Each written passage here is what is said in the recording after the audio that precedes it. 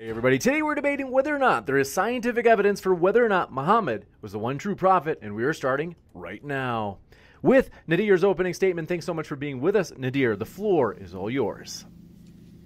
Thank you. Okay, so I'm just going to begin with just kind of making a quick comment about our last debate I had with uh, with David Wood. Uh, there was a little video going around, kind of got viral about me, you know, kind of changing the topic because I got stumped or something like that. Um, I forget what it was, but the video is a hoax. We have David right here. He can vouch for that. No such thing took place. And of course, you can go to my YouTube page to find out more about the video hoax. Okay, so let's begin uh, this discussion. So, why is it that Prophet Muhammad, how does science prove uh, Muhammad is a true prophet? Well, it's very easy. What you are seeing in front of you is misery and suffering. This is the misery and suffering caused by the scientific errors of the Bible. Well, how does that make Muhammad a true prophet? Well, the miracle you are about to witness today is Muhammad actually corrects these scientific errors and it removes the biblical curse and sets the victims free. Don't believe me? Let's have a look real quick at the first one. Both Muhammad and Jesus, and you can say the Bible and, and, and Islam, we talk about uh, meat consumption. The Bible removes all restrictions on meat consumption. Now, I'm going to go very quickly through this. You could please hit pause on the YouTube just to get my uh, references uh, because I'm going to go through. I'm going to fly through this. Okay, so the Bible removes all restrictions on meat consumption. Why is that a bad thing? Because there's certain animals you do not want to eat, and those are bats and monkeys. Quoting the CDC, uh, Center for Disease Control, uh, bats are basically the pathogen for the COVID virus. And so basically, this is known as zoonotic disease, which hops from man onto uh, from animals to man. Monkeys are the pathogen for Ebola and and uh, and AIDS. So so these are so this is a catastrophic scientific error. So let's look at the impact. Well, going to this next reference, monkeys have the consumption have the have the potential to wipe out all of humanity due to these zoonotic diseases. So let's look at the impact. The impact here, as we can see, all over the world, Christians now eat monkey. Why? Jesus removed all restrictions on that. And there's many references which I can share with you. Here's the one. Some Liberian Christians eat monkey for spiritual reasons. Now, how does this prove Muhammad is a true prophet? This is not the topic that scientific errors in the Bible.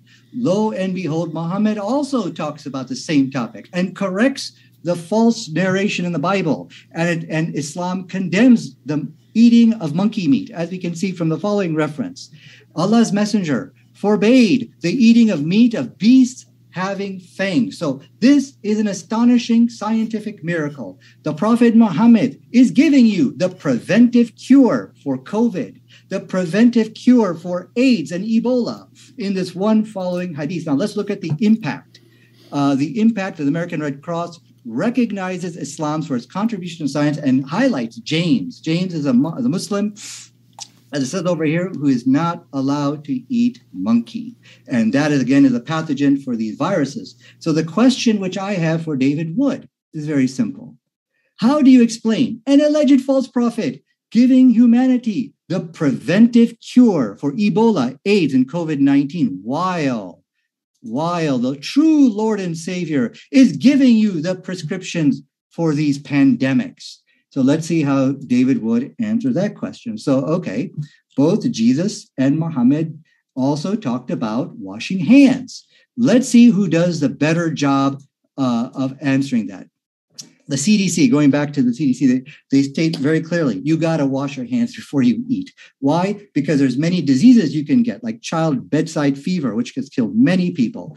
Uh, there's also parasitic diseases like uh, like like parasites such as tapeworms and things like that. Ah, so now we go to the Bible, and again, please hit pause on your YouTube to get all my references, um, uh, so you can kind of read along. Uh, the disciples came to Jesus or I'm sorry, the disciples, they were not washing their hands before they ate. So people are like, What's up? Why are you not washing your hands? This said Jesus in a fit of rage, and he answers them. Uh, he answered them with unwashed hands. That does not defile them. So, if Jesus was really God, if he was really the Lord, why would he get mad at life saving science of washing your hands before you eat? You know, that doesn't make sense. So the Christians will say, oh, well, you see, Jesus was just condemning the ritual, the ritual of the of it. Okay, let's go along with that. But how is it that you, such life-saving science you see as a meaningless ritual? So this, even if we were to grant this, that shows poor judgment on the part of the Lord and Savior. How does this prove Muhammad is a true prophet? Let's go to see how Muhammad now answers the question.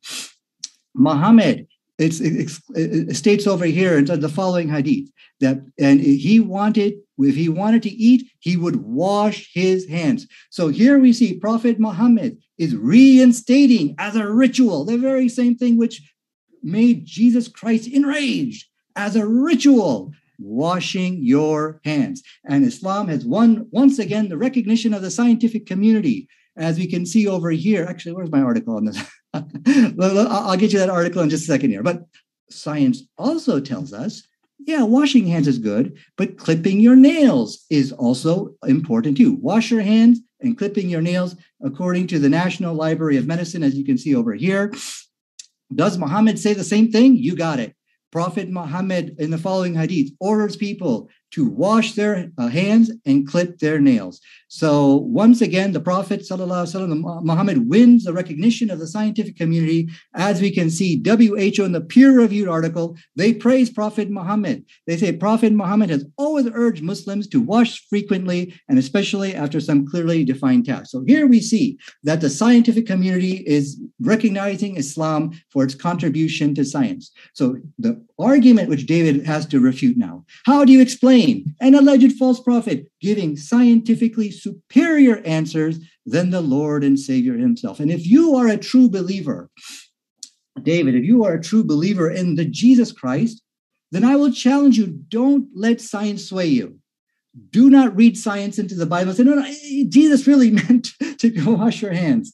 Considering the fact how it angered your Lord and Savior to wash your hands before they eat. I will challenge you to publicly rebuke Muhammad and all his followers because we all wash our hands before we eat as a ritual, the very same thing which Jesus condemned. So here we see yet a second scientific error corrected by Prophet Muhammad. Let us go on and see how many more. Both Jesus and Muhammad talked about alcohol. Let's see who does a better job. Well, we see from the from the following peer-reviewed study. Uh, well, basically, the Quran condemns alcohol, and let us see from the following peer-reviewed uh, study over here. This is coming from the European Child of Adolescent Psychology. It says Muslim women, as a result of the teachings of Islam, are 50 times lower than the global average to give birth to a fetal alcohol child. So here we see that Islam is giving a scientifically superior answer on the question of alcohol. And so, you know, many Christians they try to debate. Say, oh, what about alcohol in the Quran? You see, uh, alcohol is allowed in heaven, and they'll say, oh, you know, Muhammad himself he drank alcohol, which is ridiculous. But they'll make these arguments, and they'll say, well, in the that's the Quran, they'll say the alcohol is actually good. I don't know if David's going to offer these explanations, but here's my response. Look, whatever you see as a problem in the Quran about alcohol, multiplied by 10. Say it's 10 times worse than what you're saying. That doesn't change the fact. In no way does it uh, you know, refute the fact that the Quran still gives a scientifically superior answer uh, on the question of alcohol than Jesus, telling us, "Oh, but what about all these other problems?" Science is not con- science is not concerned with that. Even with all we were to address all except all the alleged problems, which can be easily refuted, it doesn't change the fact once again, Muhammad gives a scientifically superior answer than Jesus. So that's what makes Muhammad a true prophet. Let us go to the next example. The Bible stigmatizes epileptics as demon possessed. This is what we read in ancient pagan lit- uh, um, literature. We see that there was this uh, belief that epileptics suffer from demonic possession we find and, and, we find once again in the Bible that there was an a kid suffering from from uh, seizures. They came, they brought him to Jesus, and they said, "Look, this guy has uh, has a problem. He had all the symptoms of epilepsy. What? He grit his teeth. He uh, he grit his teeth, he foamed at the mouth, and he had this since he was young. Those are clearly the symptoms of an epileptic. Jesus repeats the, the, the ancient pagan myth and accuses a boy of being demon possessed and allegedly cures him. In order to save Christianity, the Christians say, listen, this is just all a coincidence. You see, epileptics and demon possessed people, they share the same symptoms. So thus they become uh, indistinguishable, right? Yeah. And what about that pagan mythology? That's just another coincidence.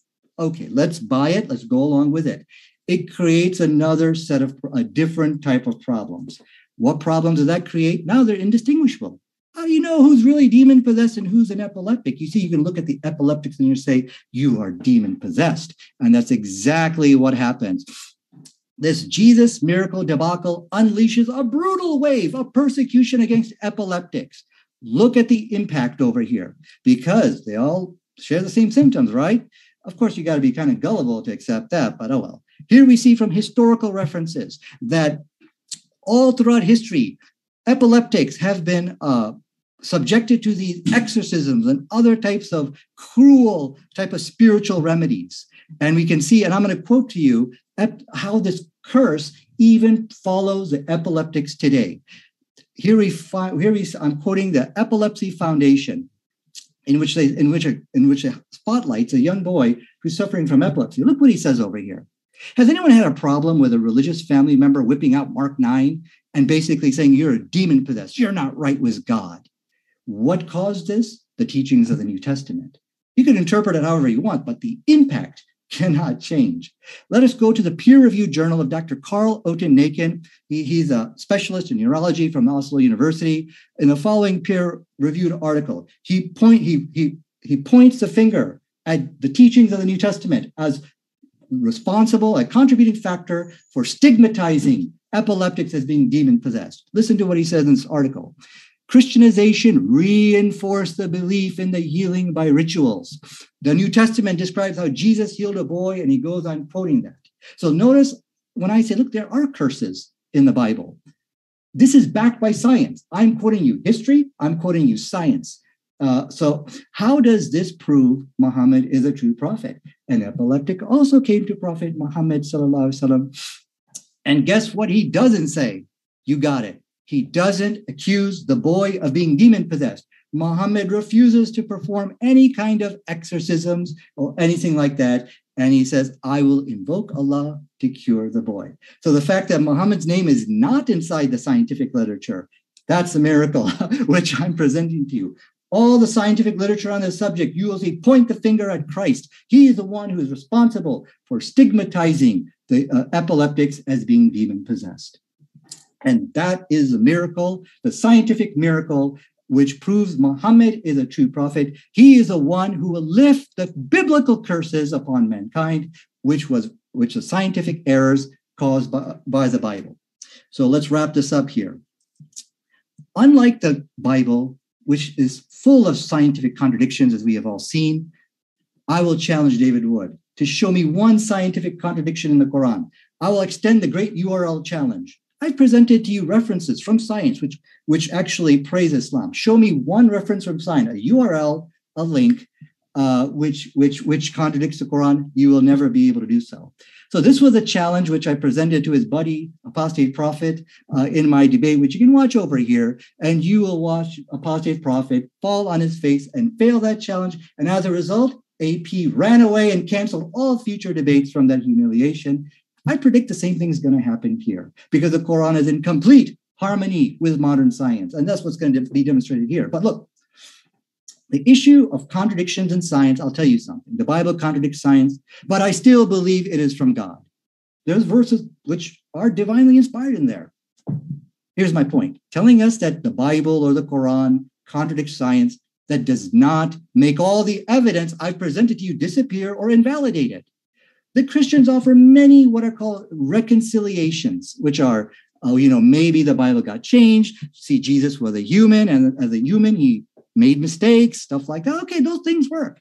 Why am I offering this disclaimer? Because I know I'll never get the opportunity to address all of the objections against Islam. And when in fact, these things do not uh, uh, how shall I say, disprove the prophet of Muhammad. All it does, it just brings into the question its reliability. Has this book been changed or something like that? So let's pound the gavel.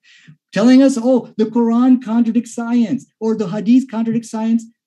Just smile at David and just nod your head. That ain't gonna. That ain't gonna help him tonight. You gotta. You gotta beat the scientific evidence which I have presented to you, which make Prophet Muhammad a true prophet. Go ahead. Thank you very much for that opening, Nadir. And we're going to kick it over to David Wood for his opening as well. Want to let you know, folks, if it's your first time here at Modern Day Debate, we're a neutral channel hosting debates on science, religion, and politics. Don't forget to hit that subscribe button as we have many more juicy debates coming up, including Islam versus atheism, which has more evidence, which is shown at the bottom right of your screen. That's next Friday with Apostate Prophet and Perfect Dawa. You don't want to miss it. Hit that subscribe button so you don't miss out. And with that, thanks so much, David. The floor is all yours. Thank you, James, and thank you, Nadir, for challenging me to this debate on whether science proves that the most obvious false prophet in history is a true prophet. When it comes to science, Muhammad was wrong on virtually everything he could possibly get wrong. Whenever Muhammad made a clear scientific statement, it was clearly wrong, and Muslim apologists are therefore forced to misrepresent and distort unclear verses in a desperate attempt to provide evidence for their faith. I don't want anyone to miss the big picture of just how wrong Muhammad was, so here in my opening statement, I'll give you an overview of Muhammad's thoughts about the universe, about human reproduction, and about disease and personal hygiene. What was Muhammad's view of the structure of the universe? I'll begin towards the bottom of the universe. Surah 68, verse 1 of the Quran reads, Nun, by the pen and by the record which men write. The word nun typically goes untranslated, but according to Muhammad's companions, including Ibn Abbas and Ibn Masud, it refers to a large fish or a whale. Ibn Abbas comments on Surah 68, verse 1 Allah swears by the Nun, which is the whale that carries the earths on its back while in water, and beneath which is the bull, and under the bull is the rock, and under the rock is the dust, and none knows what is under the dust save Allah. We have many more references to this cosmic fish or whale in Ibn Kathir, Al Tabari, and Al Qurtubi. So, Surah 68, verse 1 contains a reference to a fish or whale beneath the seven earths. Yes, I said seven earths.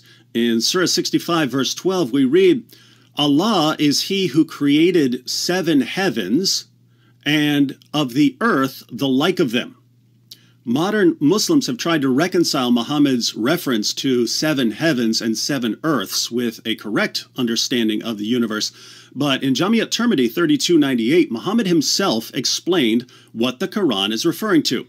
The seven heavens are seven domes over the earth, and there's a 500 year journey between one dome and the next. According to Surah 22, verse 65, these domes are made of some kind of physical substance that would fall on us if Allah didn't hold it up. The verse declares, He, Allah, withholds the heaven from falling on the earth, except with His permission. Most surely, Allah is compassionate, merciful to men. Allah withholds the heaven from falling on the earth. Just as there are seven heavens, there are seven earths, with ours, of course, on top. According to Muhammad, there's a 500 year journey between one earth and the next. The earths, the earths are stacked on top of each other, but with some space in between. What's the shape of these earths? According to the Quran, the earth is as flat as a carpet. Surah 20, verse 53 He who has made for you the earth like a carpet spread out. Surah 71, verse 19 And Allah has made the earth for you as a carpet spread out. Surah 88, 17 through 20 do they never reflect on the camels and how they were created, the heaven, how it was raised on high, the mountains, how they were set down, the earth, how it was made flat?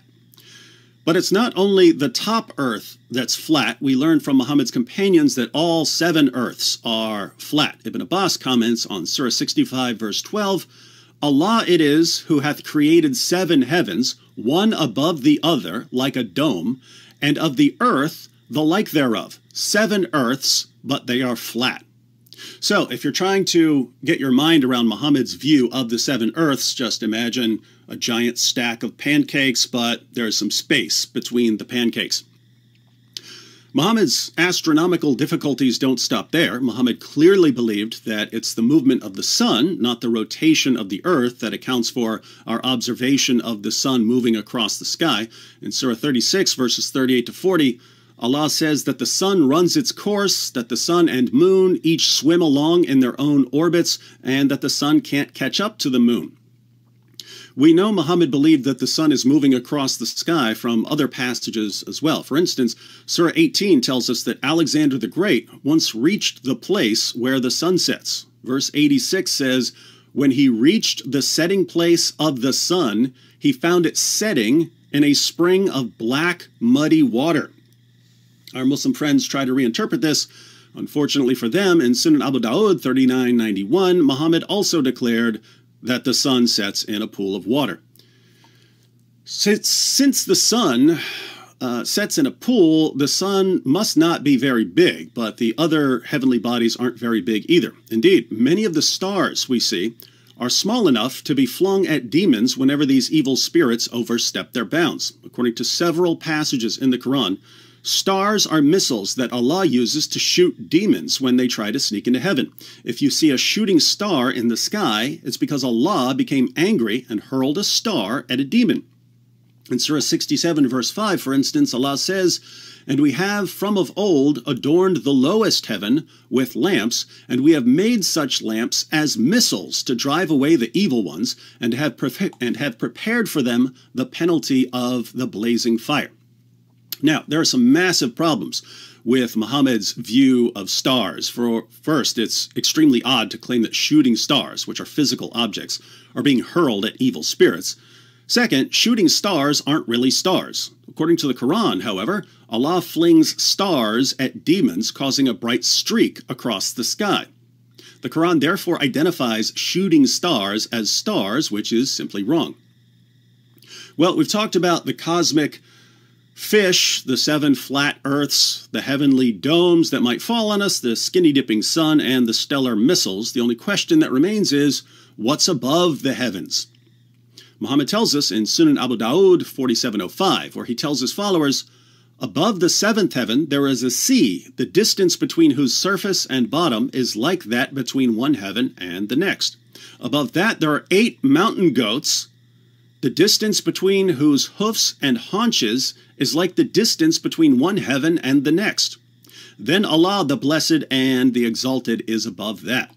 So, Muslims point to Muhammad's miraculously scientific statements as proof that Islam is true.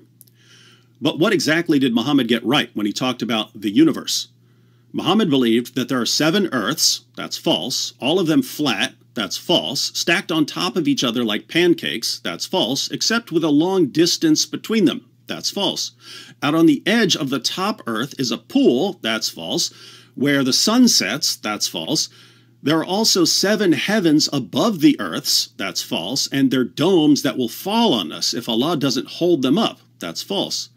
In the lowest heaven are the stars, which Allah uses to hurl at demons. That's false. And all of this is sandwiched between a giant fish. That's false. And eight giant goats.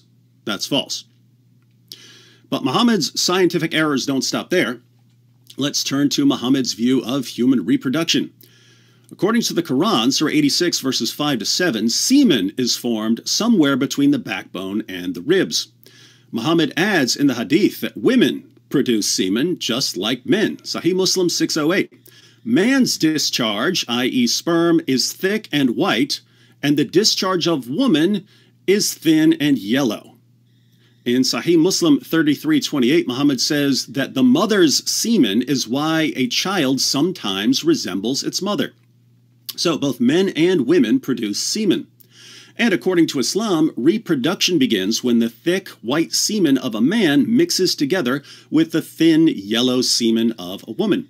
In Sahih Muslim 3329, Muhammad claims to have received knowledge of this from the angel Gabriel, who, who told him that a child's appearance is determined by which parent ejaculates semen first.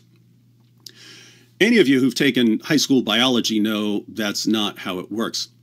In Sahih Muslim 614, Muhammad claims that a child will be male if the semen of the man prevails, but that the child will be female if the semen of the woman prevails. This is total nonsense. The sex of a child, whether male or female, is determined by the sperm contributed by the man.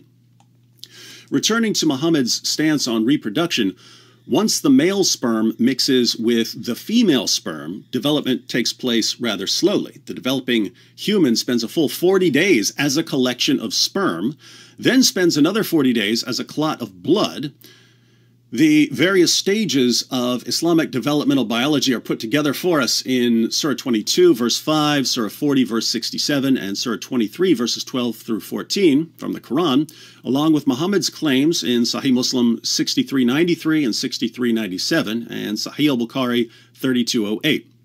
These passages yield a number of interesting insights. First, the earliest stage of human development is the sperm stage, which lasts for a period of 40 days. Second, the next stage is the blood clot stage, which also lasts around 40 days. Third, bones are formed before flesh. Fourth, the final stage of development is when Allah determines the sex of the child. All of these claims are false. Sperm can survive for about a week once they've been released, but they certainly don't last 40 days. There's no such thing as a blood clot stage, let alone one that represents a significant portion of early embryonic development.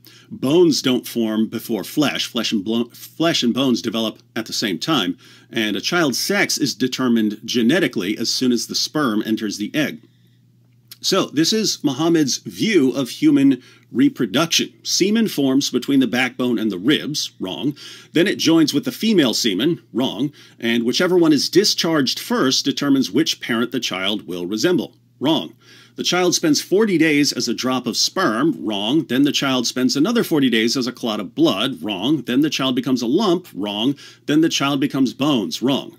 Then the bones are wrapped with flesh, wrong, and after the final shape is determined, Allah finally decides whether the child will be male or female, wrong. Here we find once again that Muhammad got wrong pretty much everything he could possibly get wrong. But there are other scientific problems in the Muslim sources. Let's consider some of Muhammad's teachings and how they relate to personal hygiene and the spread of disease. In Surah 4, verse 3 of the Quran, Allah says that Muslims can marry up to four women. In Surah 4, verse 24, and many other passages, we find that Muslims are also allowed to have sex with their female captives. Now, let's say a Muslim has four wives. He's out waging jihad one day, he conquers a town, and he takes several female captives. According to the Quran, once he knows these women aren't pregnant, he can have sex with them. Now, as far as the spread of disease is concerned, is this a good idea or a bad idea?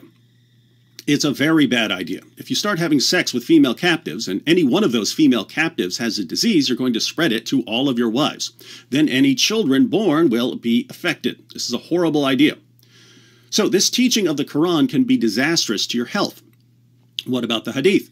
Let's say you're a Muslim and you want to perform your ablutions. What sort of water should you use? In Sunan Abu Dawud 67, Muhammad tells his followers they can perform their ceremonial washings using water that has dead dogs, used menstrual cloths, and human excrement floating in it. He says water is pure and is not defiled by anything. In Sunan Ibn Majah 520, Muhammad tells his followers that it's okay to drink water with a dead donkey floating in it. In Sahih Bukhari 5782, Muhammad tells his followers that if a fly falls into their food, they should dip the fly into the food because one of the fly's wings has a disease while the other wing has the cure for the disease. In Musnad Ahmed 16,245, Muawiyah says, I saw the Prophet sucking on the tongue or the lips of Al Hassan, son of Ali, for no tongue or lips that the Prophet has sucked on will be tormented by hellfire. That's not hygienic. Now think about this. You're waging jihad one day and you capture some women. You don't know that the women are riddled with diseases, but you have sex with them anyway. Then you have sex with your wives and spread the disease to them. Then you suck on some poor kid's tongue and spread who knows what to him. You want to get ready for prayers, so you wash up using water that has used menstrual cloths and human feces floating in it. During dinner, a fly lands in your food, so you dunk that fly, not realizing that it's carrying typhoid. You start to get thirsty, so you grab a tall glass of dead donkey water. Now you start feeling sick because of all the diseases you got from following Muhammad's teachings.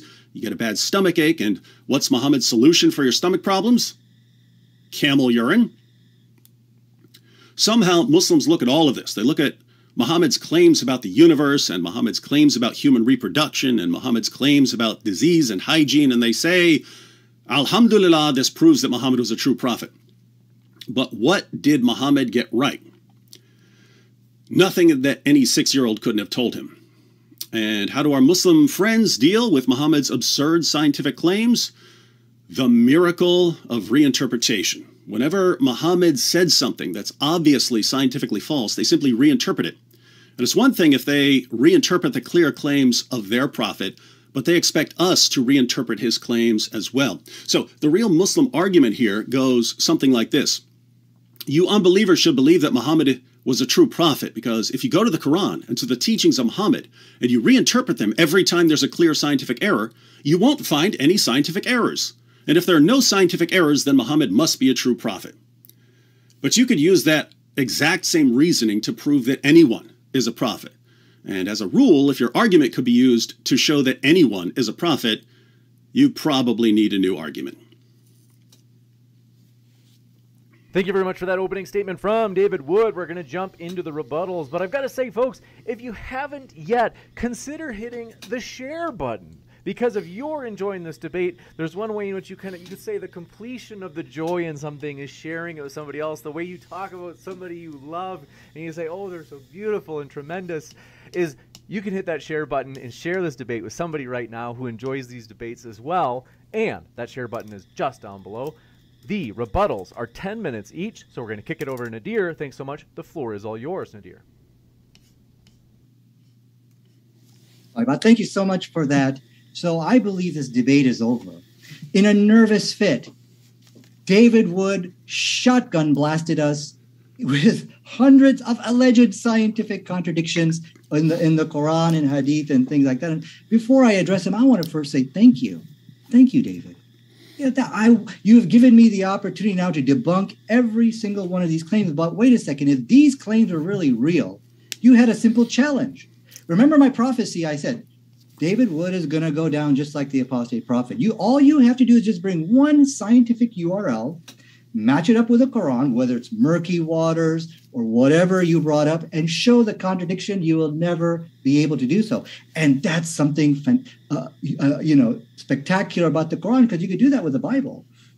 You could do that with other books, but you cannot do that with the Holy Quran. So what he basically did in a nervous fit to my opening presentation, he shotgun blasted us. This is what we call a born again pepper spray attack.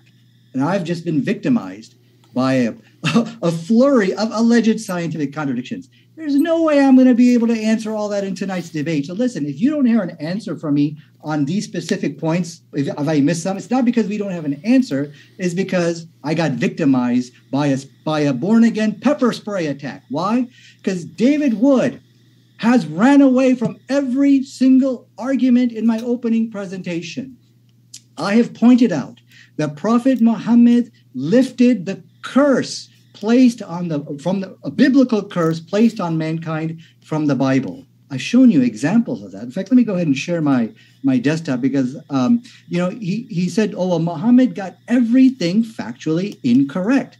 But I showed you from from science today that science has recognized that the, if you look at the way Muhammad responded, his answer on fetal alcohol syndrome, it's 50 times they are 50 times less likely to give birth to a fetal alcohol child.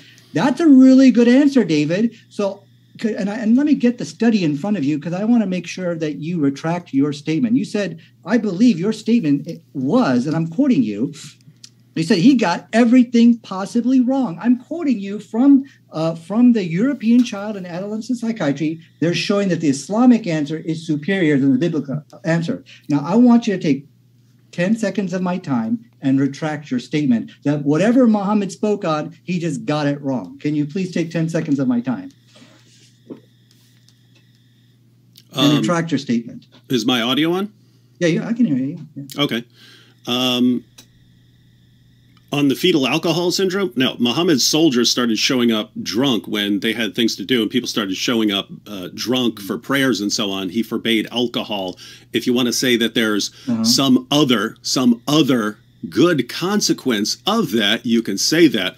But where does Muhammad say that he's forbidding alcohol because of Okay, thank you. Thank fetal you. alcohol syndrome. Uh, so, uh, see this. What we're showing over here is science gave a is telling us that Islam gave a scientifically superior answer than Christianity. This is big. This is huge. Nowhere did you show that the from a scientific perspective, the perspective you gave us is not science. Something about some drunk soldiers. I don't even know what you're talking about, to be very honest with you. So, as we can see, the problem here is that the Christian answer is horrible. What makes Muhammad a true prophet, David? Is it is a scientifically superior answer than what Jesus gave you. So you were not able to address why uh, why you know why we see such a great answer coming from prophet muhammad so again when you hear david wood say oh well you see muhammad whatever he got out of science he got it wrong we can all just like i said just smile nod your head and like, okay, sure, David, sure. So before I, I start knocking out these alleged scientific contradictions, I want to make something very clear. When I address you on those alleged scientific errors, that's going to be the victory lap of this debate because I think the debate is over now. As I have proved consecutively, clearly, that the Prophet Muhammad, he alleviates the misery and suffering. He will lift the curse of biblical Christianity from mankind. And if you have any doubt that there is a curse placed upon these people, look at this. This is just right from CNN.com. Here is a child chugging wine, and Christians think it's cute. Children drinking alcohol, that's a curse. Why? We know from science, and I'm quoting, I don't know, okay, I'm quoting over here. It tells us over here that children who drink wine, they become more sexually active, they have more sexual partners, and they and they take more risk-taking behavior. Islam gives a far better answer than what Jesus does. And the problem here is, is that prophet, is that Jesus, what's it called? I'm sorry, um, is the Bible creates the conditions for this horrible catastrophe, which you failed to address, as you can see on the screen over here. So let's go ahead and let's knock out some of these alleged scientific errors which you have shown, uh, which you have tried to claim inside the Quran. He said, okay, the sun goes down in a pool of murky waters. He said, you see, this is uh, a scientific contradiction. Well, let me first of all say, if the Quran said that the sun goes in a pool of murky water, that makes the Quran wrong. Okay. Now, what did I say in my opening presentation? Telling us where, well, of course, it doesn't, and I'll give you the explanation.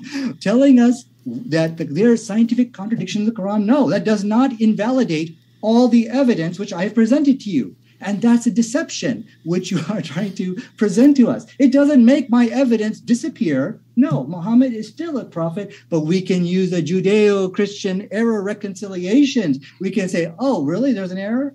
Uh, okay, see, Muhammad was a human being also. So, as a human being, he made an error.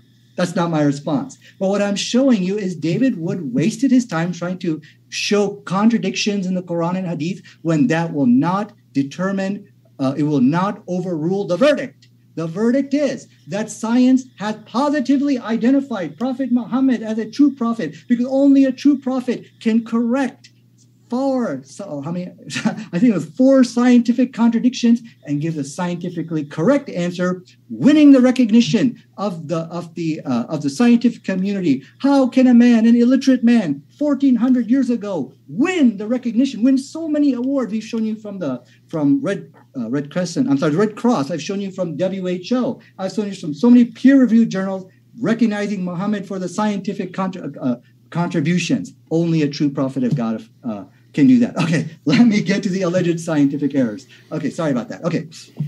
If the Quran says that the sun goes in the pool of murky waters, Quran is incorrect. But that's not what the Quran said. It said it taghrib in a pool of murky waters. And there's a distinct difference between the two. Okay, so let us go to let us and he, I believe you also quoted the hadith. This will here we see uh, taghrib is used over here. Jala Sheikh, uh, the uh, we go to the classical uh, commentaries and we quote Jalalain as he explains what this word means in Arabic. It's, it's described as seen from the perspective of the eye. Did you see that? In his commentary. So he's giving you the explanation here. Nobody ever said that the sun physically enters into the uh, into a pool of murky waters. So is it okay to say the sun taghrib in water? Perfectly fine it's wrong to say it goes into a pool of murky waters. Now let us go to the Prophet Muhammad himself. He says, Do you know where the sun goes? uh-oh. Now that if you look at the text over there, that's physically going into a pool of murky water. Remember what I said. If Muhammad said it goes into a pool, it goes into a pool of murky water, Quran is wrong. Muhammad is wrong. Okay? Look what he says over here. He says, Do you know where the sun goes? He says, and he continues, he says it goes under the throne of Allah. But look what he doesn't say. He doesn't say it goes into a pool of murky water. So the Prophet Muhammad himself is explaining the difference between going into a pool of murky water versus taghrib in a pool of murky water. And then he's and then the hadith, and you got to go to chapter number 36, verse 38 to see where the sun physically goes. So here we see that the alleged scientific error has been debunked over here. So I, I, I would look forward to how hearing his response to this. And then he tried to quote uh, the Ibn Abbas. He said Ibn Abbas uh, basically said that it's on the back of a whale or the earth's on the back of a wheel. But by doing that, he didn't need the rope to hang him with. See, he found a scientific error, but it's in the commentary. Why can we not find that scientific error in the Quran? So, by you going to the commentary and finding a scientific error, it only strengthens the case that the Quran is in complete harmony with modern science because now he needs to answer why can we not find these scientific errors, which you did find in the commentary. Because if Quran is not from Allah, you will have those kind of errors like you showed us today. But in the commentaries, yes, there is scientific errors. And you left. will never find that in the Holy Quran. So uh, uh, my time is up. I'll address the rest of these alleged errors at a uh, when I come back up. With that, we're going to jump over into David's first rebuttal, which is also 10 minutes. Thanks so much, David. The floor is all yours. Thank you, James. Uh, in my opening statement, I gave an overview of Muhammad's claims about the universe, about human reproduction, uh, and about disease and personal hygiene. We saw that Muhammad got wrong just about everything he could possibly get wrong. Muhammad believed that there are seven earths, that all of them are flat, that they're stacked on top of each other like pancakes, except with a long distance between them. He believed that out on the edge of the top pool is a pool uh, at the edge of the top earth is a pool where the sun sets. He believed that there are seven earths, I mean, seven heavens above the seven earths, and that they're domes that will fall on us if Allah doesn't hold them up. He believed that in the lowest heaven are the stars, which Allah uses to hurl at demons, and he believed that all of this is sandwiched between a giant fish and eight giant goats. What did Muhammad get right here? Nothing, as far as I can tell, except like that there is a sun and that there is a moon and things like that. Um, how did Nadir respond? He said that the fish or whale issue isn't a scientific error because it's a commentary, and uh, Muhammad didn't mention it in the Quran. But it, Surah 68, verse 1, does refer to the Nun. It's Muhammad's companions, such as Ibn Abbas, the founder of Quranic studies, and Ibn Masud, the man that Muhammad said, if you want to learn the Quran from anyone, learn it from him. And they're the ones who tell us what the word nun refers to. It refers to this giant fish, uh, and the seven earths are on top of its back. So this is, these are Muhammad's companions, and they're saying something about this referring to a fish. Where do they get this idea? The people who learned the Quran directly from Muhammad tell us what this is referring to, and Nadir says, ah, yes, well, if it's a scientific error for them, then it's not a problem. But these are the guys who are learning the Quran from Muhammad. And they're saying something very similar. They're saying something about this referring to a giant fish or whale. So, looks like a problem. Um, Nadir says that what the what the Quran means when it says that the sun sets in a muddy pool is that it simply appears that the sun sets in a muddy pool. And he says that this is what Muhammad means in the hadith, but that's not what Muhammad said. There, there's when Muhammad talks about it, he's not talking about Muslims seeing anything or anyone seeing anything as an appearance. He tells his companion where the sun actually goes when it sets. Let me read. Let me read for you. Sunan Abu Dawud 3991. Abu Dharr said, "I was sitting behind the apostle of Allah." Who was riding a donkey while the sun was setting. He asked, Do you know where this sets? I replied, Allah and his apostle know best. He said, It sets in a spring of warm water. He's not saying anything about what we're going to see. He simply, he simply says to one of his companions, You know where the sun is going.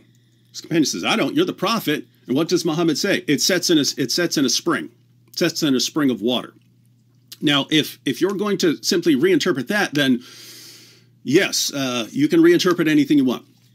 So th- those were all of the responses I gathered from the issues of Muhammad's view of the universe. What do we have next? Uh, Muhammad believed that semen forms between the backbone and the ribs, that it mixes with the female semen, and that whichever parent uh, whichever parent's semen is discharged first determines which parent the child will resemble. Muhammad believed that the child spends 40 days as a drop of sperm, that the child then spends another 40 days as a clot of blood, that the child then becomes a lump and then becomes bones, and that the bones are then wrapped with flesh. He believed that after the final shape is determined, Allah finally decides whether the child will be male or female. What did Muhammad get right here? Uh, nothing, and I didn't catch any response from Nadir, but maybe I missed it.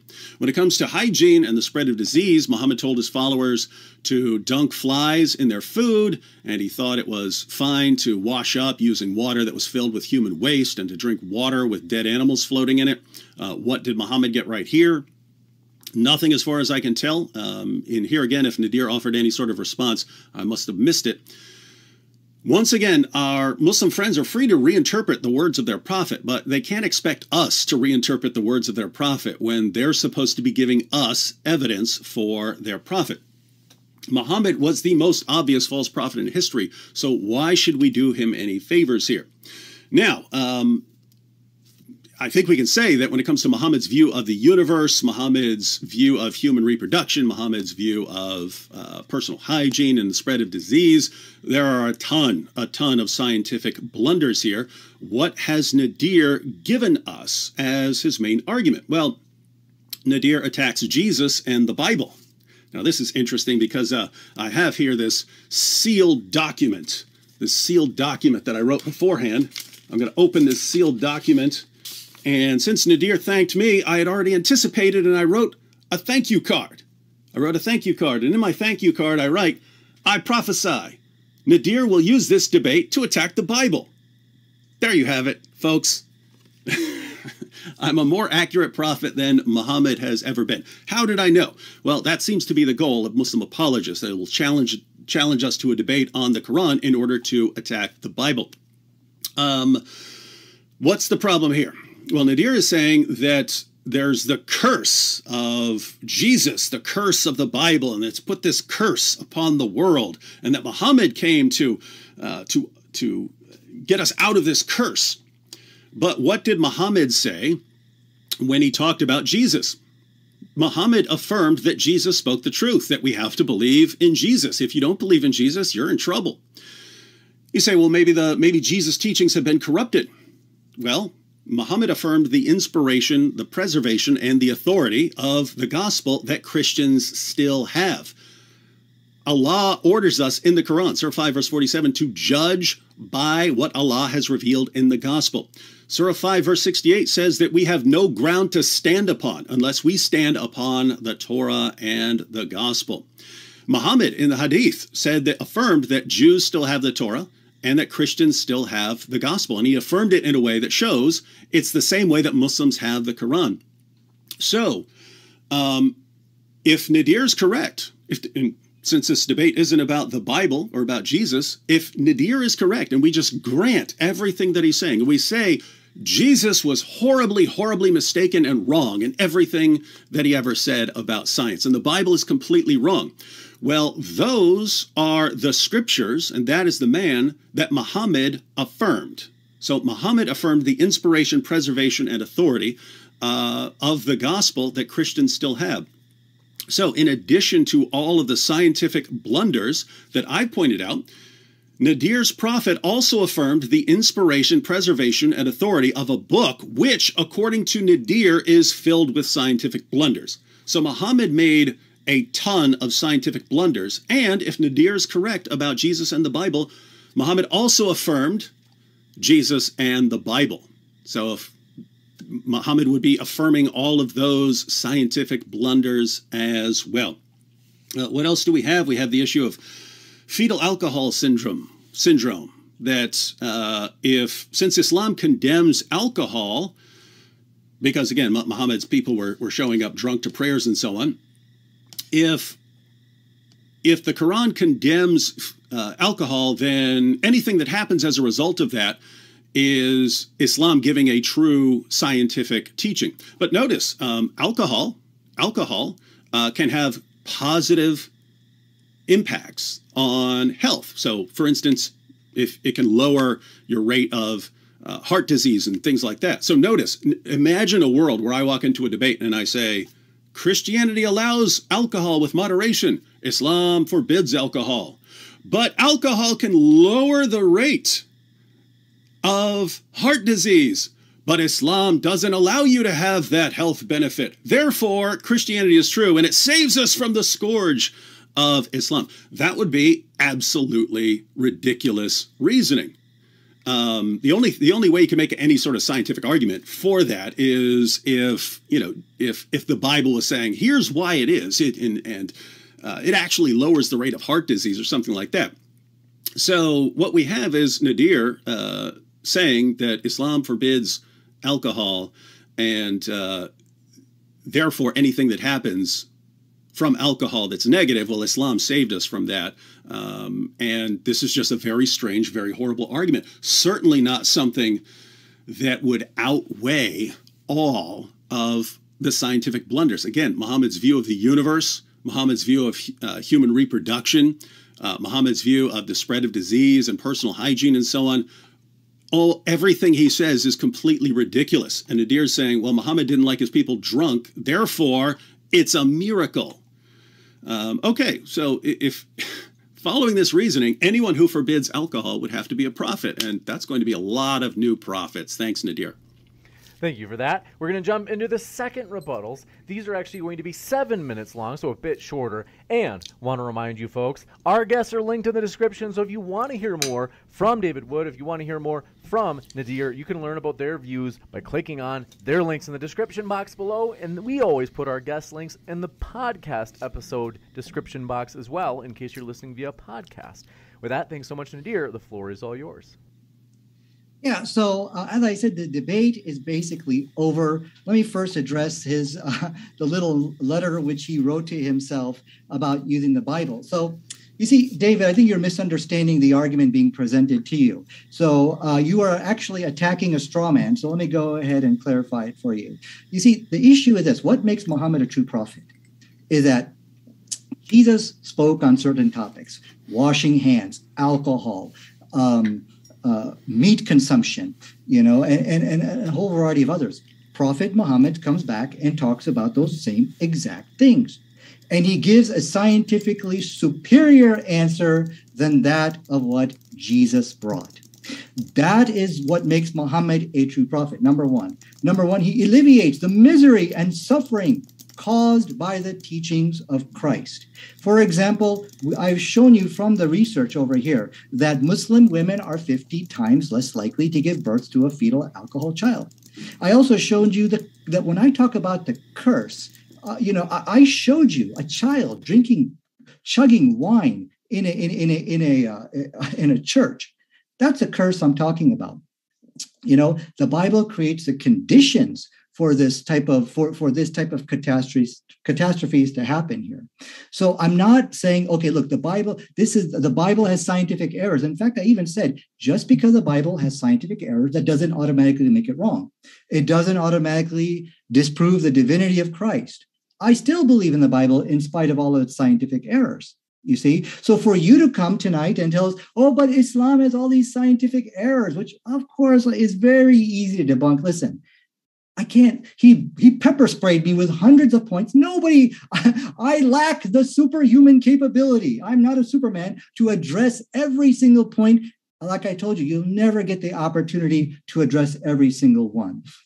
But since you have misrepresented the argument and you have given us pseudoscientific claims, I need to correct you. But before I do that on, on alcohol, I want to I want to every time you say Muhammad got everything wrong, let me light you up with some scientific references. This is from uh, from the WHO. Again, I'm quoting from the most prestigious, uh, peer-reviewed journals in which they praise Prophet Muhammad on washing his on washing hands before you eat and clipping the nails. Direct, word for word agreement with modern science. So I will give you a second opportunity. I'm showing you the science right here, and I'm showing you word for word agreement with modern science. David, for you to continue to say, oh, Muhammad got everything wrong on science. It's right here in front of you. Let us read again what science says. It says the Prophet Muhammad always urged Muslims to wash hands frequently and especially after some clearly defined tasks. Now, let me quote for you. Uh, let me let me go back and address you on your pseudoscientific claims which you are making tonight. You say, "Oh, you see, there's some good in alcohol. It basically helps your heart, or some something like that." So let us go back to the science. Uh, what science really says about that? It says and I'm quoting, many studies have shown, this is an article from CNN. It says, many studies have shown that the overall health risk of drinking alcohol outweighs any benefit. Did you see that? the overall uh, you know, health risk of drinking alcohol outweighs any benefits. There's no amount of alcohol is good for your overall health. So this, I will ask for you to retract your pseudoscientific claim that, oh, you see, it's good for your heart. When you go into the doctor's office, they're not going to ask you, have you had some beer? Oh, you need beer. Come, where's your, no, this is pseudoscience which you are presenting to us. Now, remember, David said Muhammad got everything wrong he could possibly get. Look at what look at what Muhammad says about alcohol inside the following verse, chapter 2, verse 219. They have some benefit for people, but their harm is far greater than their benefit. Word for word agreement with modern science. So here's the second example of he said this is just being reinterpreted. Is this being reinterpreted? It's right here in front of you. Science juxtaposed with, with what with the Holy Quran, complete harmony with modern science. So you should retract your false statement. When you said he got everything possibly wrong, you are seeing right here that, that it is word for word agreement with modern science. Allahu Akbar. So let's go back to the issue of murky waters. Um, you know, again, I think you know, David Wood has a misunderstanding on, on the Quran. So let's consider this like a learning experience for all of us. You see, David, there's a distinct difference between saying the, that the that the sun taghrib in water and saying it physically goes into the water. As I have shown you from Jalalain, he has already explained all of this. Let me get that reference for you right here to say that the Quran taghribs in water is perfectly scientifically correct. There's nothing wrong with that because it really here we see from from Jalalain over here it says it is described as seen from the perspective of the eye. I've also quoted you a hadith. The Prophet Muhammad explains all this stuff. He said, "Do you know where the sun physically grows?" See, that's where it physically goes. Look what Muhammad doesn't say. He doesn't say it goes into a pool of murky waters. You see? So he are you going to follow Muhammad or are you going to follow David Wood? you know, so I think this is, um, you know, I don't know if you can read the text over here, but I'll assume you can. But this is a dead argument. The, to say that the sun uh, that the sun taghrib in water is perfectly fine. There's no contradiction with science over there. And then finally, he said tonight. Um, in fact, in fact, let me uh, let me scroll up. Yeah, he said something about he ex- he accepted. Okay, well, the whole thing about on the back of a whale. Uh, he conceded. Okay, that's a commentary. But then he said, but these are your most premier scholars. They're so great. And so here we see this is a goalpost shift. He's shifting the goalpost. Now he's bringing up another go- controversy. Why do your premier scholars? Why are they wrong? You know, nobody believes in the, in the infallibility of these people, but he has conceded tonight that about the back of the whale, this is not in the Quran, and this is a death blow for him. Why? Because now he needs to answer why can we not find scientific errors in the Quran? You can find it in the commentary, you can find it in the Bible, you will never find it in the Quran. Regarding the whole issue about the flat earth, again, guys, you know, I'm not a Superman where I can address every single, you know, argument or something like that. Give me time and I will address all of that. So, why is Muhammad a true prophet? Well, it's very simple. He is the one who is basically going to alleviate the misery and suffering caused by the teachings of Christ. And I will ask for you to retract your your pseudo-scientific claim that uh, you know there's some good in alcohol, as I've shown you word for word agreement. And I'm still waiting for you to accept this challenge, where you need to defend Jesus on not washing his hands. Go ahead. Thank you very much. We're going to kick it over to David for his seven minute rebuttal as well. And this is right before we go into the more open conversation mode where it'll be two minutes mm-hmm. back and forth. But I've got the clock reset for you, David. Seven minutes. The floor is all yours. Oh, that's right. I muted you. Sorry about that. All good. Check, check. Can you hear me? Yep. Okay.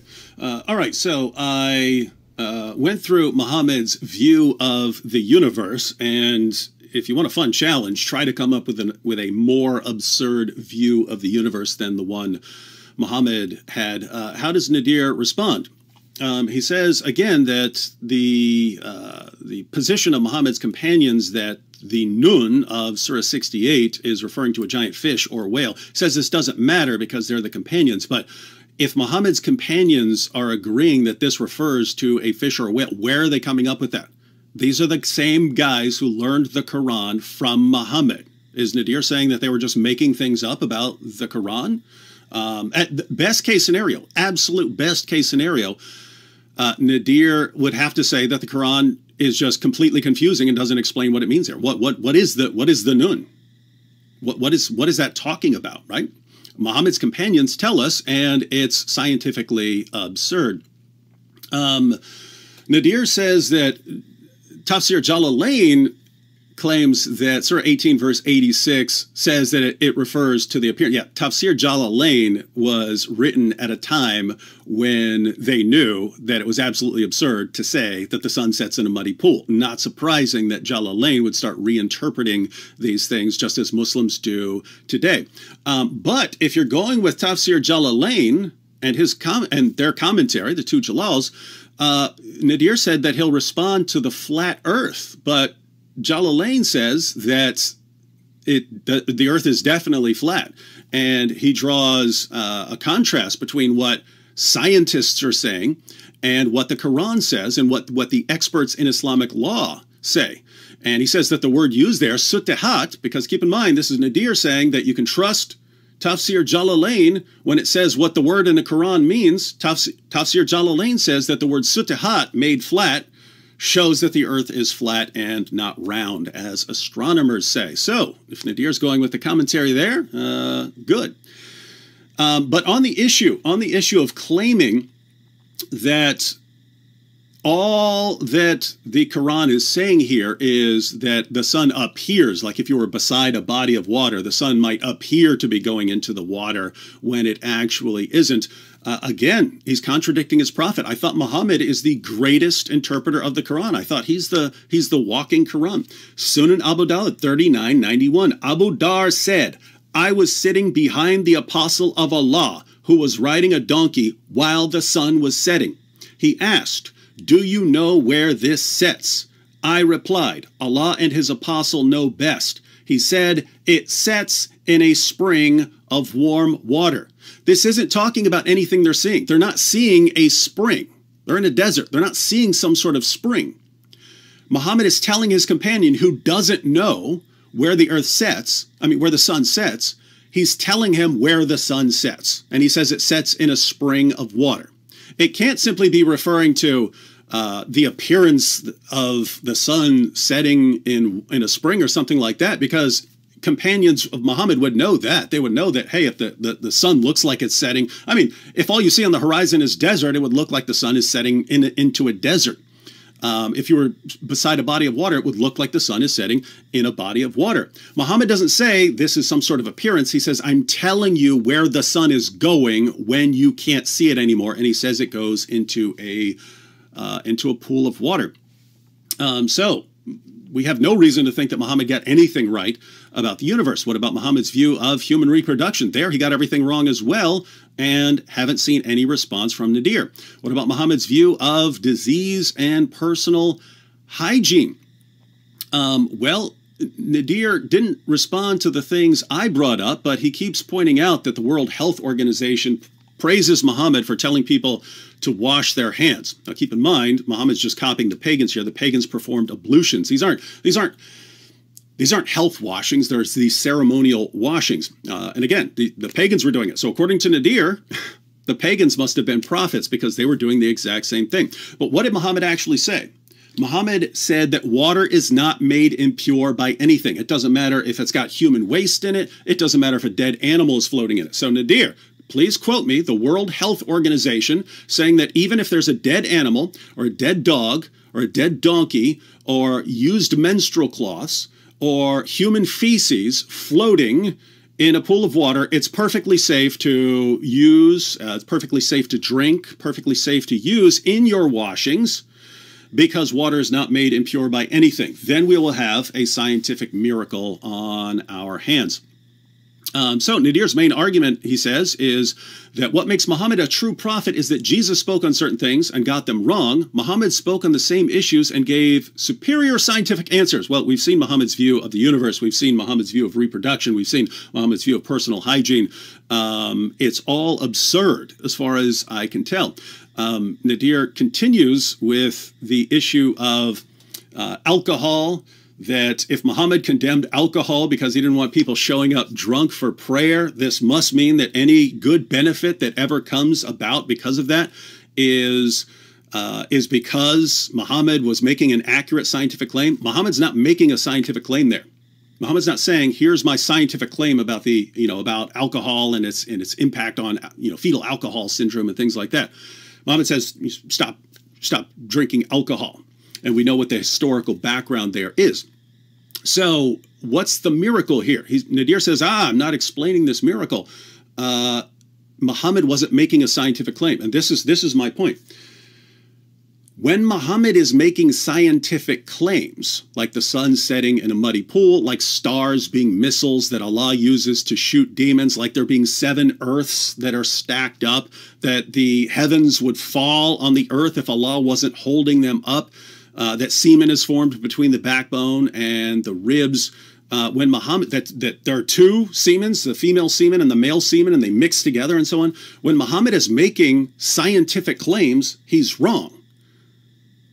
And when he says something about alcohol and he's not even making a scientific claim, suddenly that gets reinterpreted as a scientific claim and shown as a miracle. And I just have to say, you could do this for anyone in history. Find anyone in history you could show that he's a prophet using the exact same method Nadir is using. Thank you very much for that rebuttal. We're going to kick into two minute intervals for open discussion for about 40 minutes. So, thank you very much. Gentlemen, reminder, folks, our guests are linked in the description, and that includes if you're listening to this episode via the Modern Day Debate podcast, as we put our guest links there as well. Thanks so much, gentlemen. The floor is all yours. Okay, so I'll go in for two minutes. So uh, my, my, response is clear. Give me a break. He said, I did not hear Nadir talk about, you know, all these issues, semen in the backbone, flat earth, all the, well, yeah, because I lack the superhuman, Superman-like capabilities to address all of these um, alleged scientific errors. you know, so take, I, you know, give me one at a time and we'll address that. So what we are seeing here is a nervous panic from David Wood he pepper sprayed us. This is called a born again pepper spray attack. He pepper sprayed us with all kinds of bogus points. Listen, if you don't hear me respond on a particular issue, it's not because I'm not able to or there's really an error. I'm not Superman. you know, so let me go ahead and uh, you know address what makes Prophet Muhammad a true prophet. Then I will refute you on every one of these alleged scientific errors, I promise. So, what makes Prophet Muhammad as a true prophet? See, David, you, you on the issue of alcohol, you did not retract your false statement about the heart and you see there's good things in there and stuff like that. We found word for word agreement in uh, with what we find in the Quran. The whole thing about pure waters, this is a goalpost shift. Okay, from a scientific perspective, no way did you show that the, Jesus spoke about alcohol, but how is that any better than what Muhammad brought? I showed you in light of all you claim that well Muhammad is really just you know because he saw some people drunk that's the reason why he condemned alcohol. There's a reinterpretation game right there. Okay, you are reinterpreting the text. Okay, but even from a scientific uh, perspective, who cares? The fact remains that in spite of all the problems on alcohol, and let's just stick with alcohol, finish that, then move to the next point. I don't think I think it's undeniable that it is a scientifically superior answer uh, than what Jesus gave. If you claim that Jesus gave a better answer, then show us the documentation. And that's really what we're missing from you. Show us how Jesus gave a better answer scientifically on alcohol than Muhammad. You know, I've shown you where children are drinking alcohol, you know, and they think it's cute. No, it's not. That's a curse. I've shown you that when in the study they said if you want to learn the fetal alcohol syndrome uh, issue you got to go to the christians. That's a curse. Muhammad removes all of this with his response and that is what is written inside the scientific documentation. So i think that's my two minutes right uh, james? So the question i'm going to ask you let's take one issue at a time. Show me how jesus's answer on alcohol is better than muhammad's. Um there's no need because I think it's a ridiculous argument that you're making. Your argument is if Muhammad gave a superior answer to Jesus, then Muhammad would be a true prophet. Absolutely ridiculous. So so take take a, an issue like Islam allowing child marriage, right? Here are the facts about child marriage.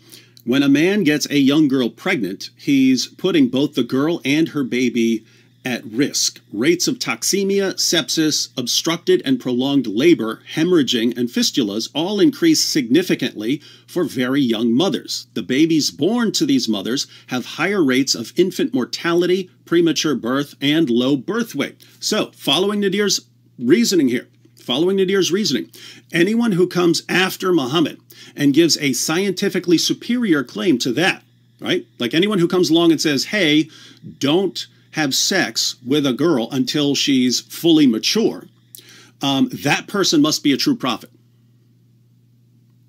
Is that a good argument?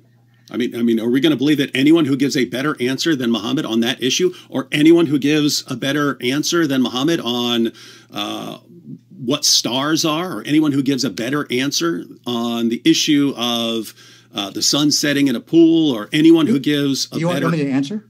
Shall uh, I answer? No, using my two minutes. I've oh, interrupted. Um, or anyone who, uh, I mean, or, or that semen is formed between the backbone and ribs. Anyone who comes along after Muhammad and gives a, a scientifically superior answer to Muhammad must be a true prophet. Here's the thing no Muslim in the world would accept that argument. No Muslim in the world would accept that argument for Joseph Smith or for any person claiming to be a prophet today, even though any prophet who claims anyone who claims to be a prophet today would be giving a superior answer to Muhammad. And so you'd reject the argument for anyone else, and yet you expect us to believe it for Muhammad.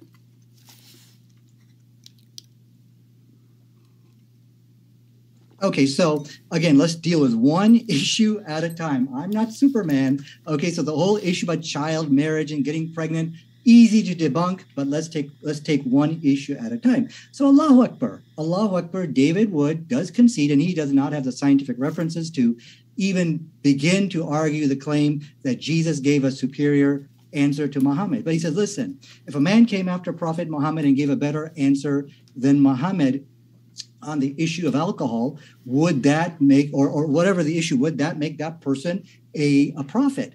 Well, Uh, if it was just that one issue, I would probably say no. But here's the problem.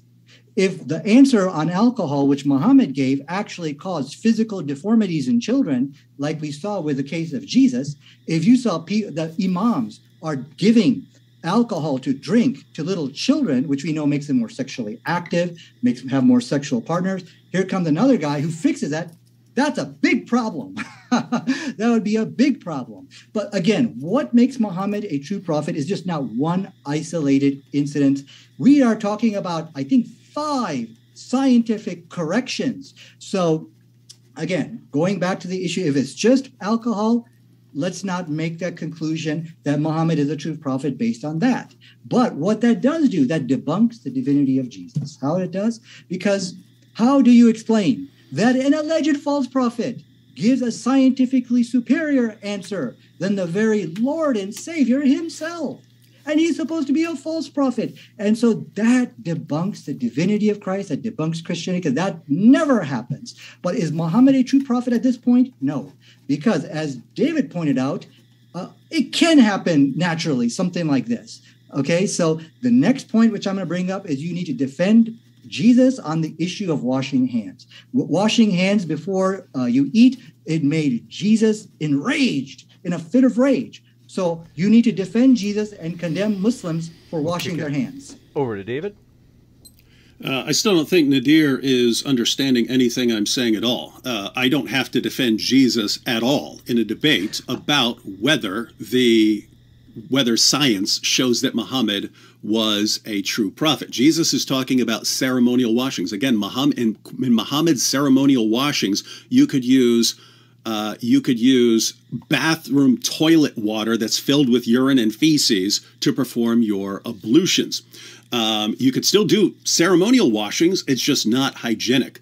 Uh, Jesus is saying that uh, that these ceremonial washings that they thought made someone ritually impure um, don't actually make someone ritually impure. That's a man-made teaching. he's not even addressing the issue of hygiene. But guess what? Completely irrelevant. So suppose, for argument's sake, we say Jesus was completely wrong. Every, let's say, for argument's sake, Jesus was wrong about everything he ever said about science. What does that have to do with Muhammad being confirmed by science? According to Nadir, uh, Muhammad gave a better answer. So notice the reasoning. If someone comes along later and gives a better scientific answer, that person must be a true prophet. My question is, do you actually believe that? Because any six year old today, anyone who's anyone who's in first grade would give scientifically superior answers to the ones that Muhammad has given about the universe, about human reproduction, uh, about hygiene. Any six year old would give scientifically superior answers to Muhammad. So if some six year old said, Hey, I am a true prophet, and um, I'm going to tell you about the sun, and I'm going to tell you what stars are, and I'm going to tell you where semen is formed, and so on, and gives scientifically superior answers. Would Nadir accept this as evidence that any of these any of these six year olds are true prophets? No, of course he wouldn't. And yet, we're supposed to accept this argument for Muhammad. Once again, if, if your argument shows that anyone is a prophet, probably need a new argument.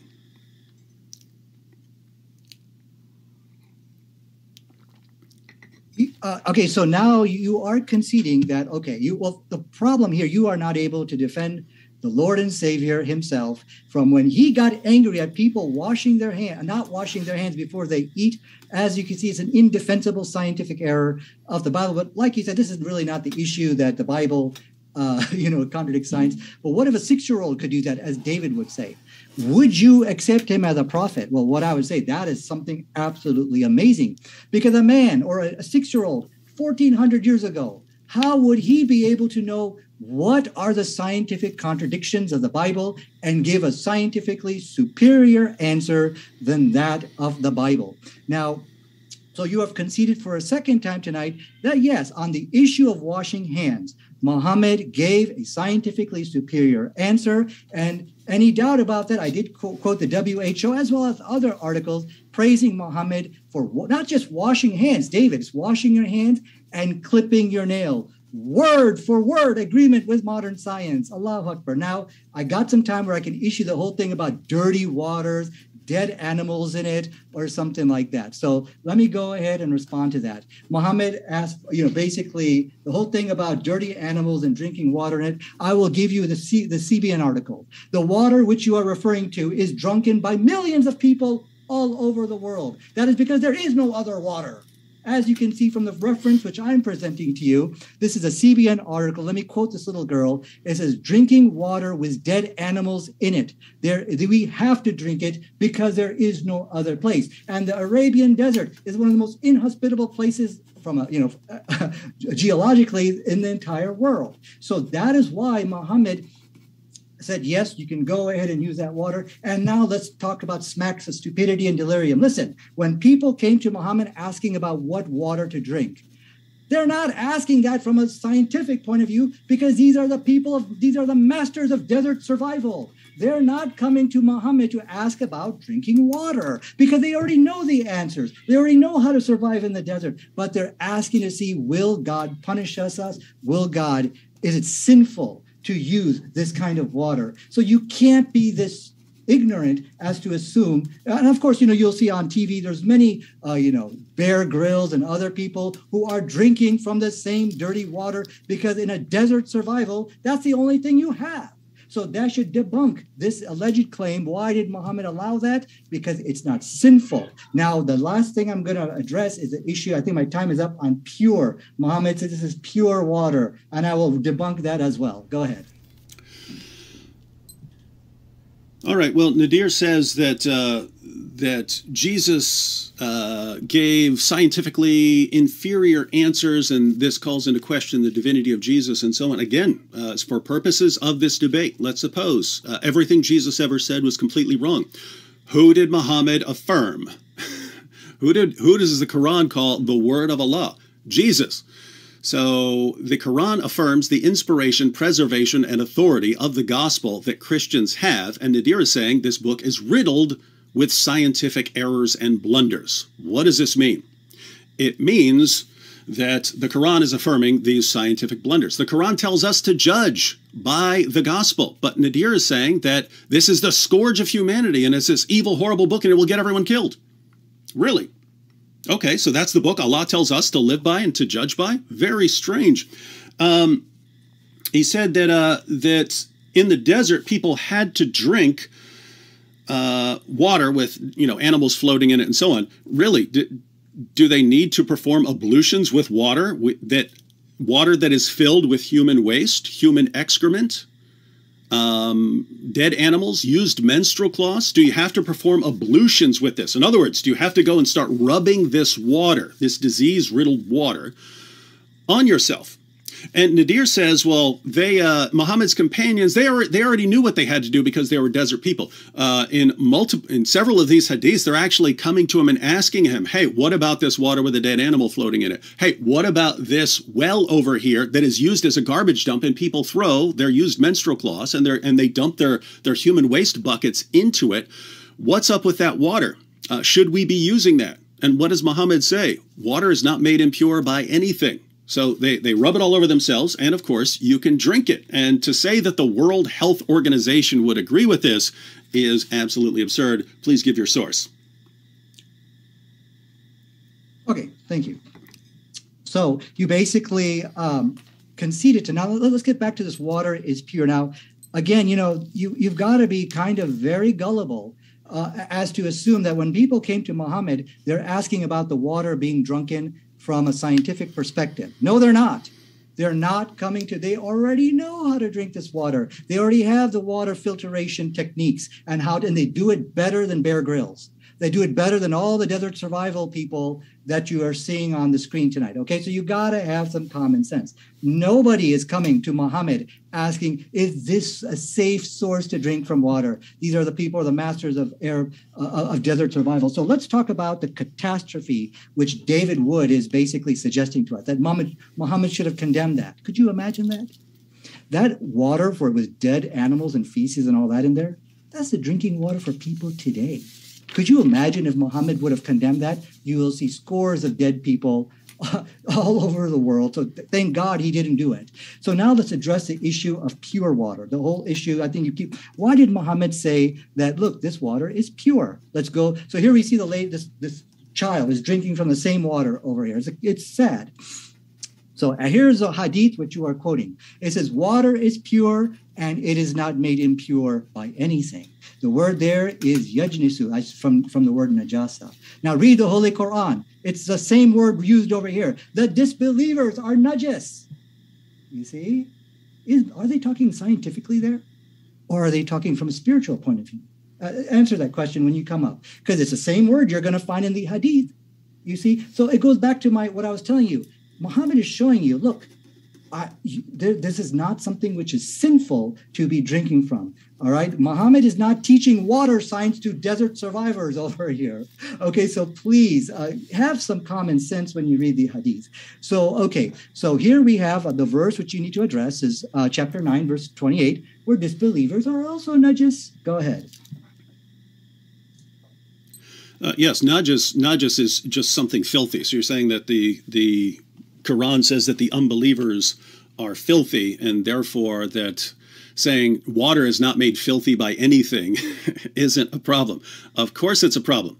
And again, if you were saying, hey, in some survival situation, sometimes you have to make do with whatever you have, that's fine. Do you really need to wash with it? If this is just for washings, we're not talking about drinking here, um, although you have the problem with that. Uh, but if this is just a matter of washing with it, do you really need to be rubbing this on your body? It looks like we're at an impasse here. You're saying, hey, you know, that sort of thing is fine, and I'm saying it's not. Uh, but you did say that we should go through issues one at a time. So let's go through a couple of them. So uh, just one issue, one issue. Uh, just because it's a common one, I'm sure you get this all the time. Uh, but stars being missiles. So Surah 67, verse 5. And we have from of old adorned the lowest heaven with lamps. And we have made such lamps as missiles to drive away the evil ones, and have prepared for them the penalty of the blazing fire. So, stars are missiles that Allah uses to shoot demons. And you have multiple passages on this in the Quran and in the Hadiths. But the general teaching is that when a demon tries to sneak into heaven to hear Allah's plans, Allah takes a shooting star and hurls it at the demon to so that the demon won't hear his plans. And when you see a shooting star across the sky, it's because Allah has hurled a star at a demon, and that's what a shooting star is. Now, multiple problems here. Again, one, you know that that a uh, that a star is something that Allah hurls at uh, demons and hits them to keep them from sneaking into heaven, but also the issue of claiming that shooting stars are actually stars, which they aren't. So, one issue at a time. What do you think of that? Well, thank you for not pepper spraying me with hundreds of points over here. Thank you for taking one issue at a time. I'm an old man, and what I think about shooting stars is once again you are showing the scientific accuracy of Prophet Muhammad But I find it very disturbing here that you, if you really believe Jesus is the Lord and Savior, you should have defended him and say no. You know, you should have said not washing your hands before you eat. This is this is the sunnah. This is the way of Jesus. And you should have rebuked Muslims and Muhammad for teaching people to wash their hands before they eat and, uh, and, you know, what, and, and clipping their nails. You should have defended Christ on that, but you didn't because you see he's wrong. you know, so the issue of what makes Muhammad a, a true prophet here is that he, com- he consistently corrects the wrong errors which you now see in the Bible. So now let's get to the shooting stars, and we'll talk about the scientific miracle and scientific accuracy. First of all, the verse in the Quran, you will uh, it, it does not say stars. Okay, it says lamps.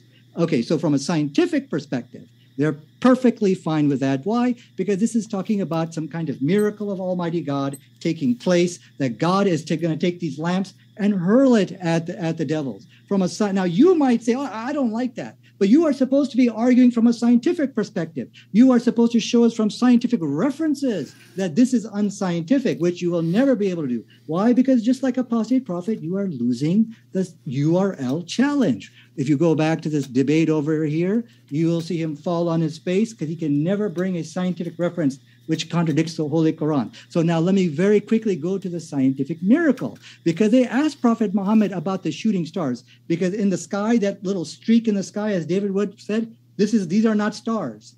Okay, these are meteors which are being burning up in the atmosphere. Now, look how when they ask, my notes? look when they ask Prophet Muhammad this question, what he responds. And unfortunately, my time is up. So, in my next response, I'll show you that miracle. Do I just start, James? Okay. Um, so Nadir says that Surah 67.5 there isn't talking about stars because it says, And we have from of old adorned the lowest heaven with lamps, and we have made such lamps as missiles to drive away the evil ones. All right, so he says since it says lamps, it's not talking about stars, but we have the parallel passage in Surah 37 verses 6 to 10 where it talks about them in the same in the same way that these are things that adorn the sky and so on.